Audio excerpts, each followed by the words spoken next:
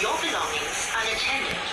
If you see any suspicious looking person or article, please inform our staff or press the emergency communication button located at the side of the train doors.